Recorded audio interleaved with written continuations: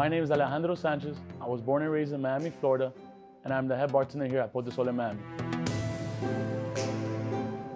And the cocktail that I decided to create for the Art of Italicus Gloco edition is called the Secret Garden. So the inspiration behind this cocktail all begins with the amazing product that Italicus Rosolio is. I use a gin that's very refreshing and it's neutral. It's gonna allow the Italicus to be expressed throughout the whole cocktail. Also in the syrup, I decided to use some blueberries. The blueberries, being my local ingredient, gives the cocktail a beautiful, vibrant color, which to me expresses the city of Miami. Very exciting, very vibrant. This cocktail expresses all the floral notes, the herbal notes, and the citrus notes. So it's pretty much like us walking to a garden and you see all these notes, and it's only a secret until you try it.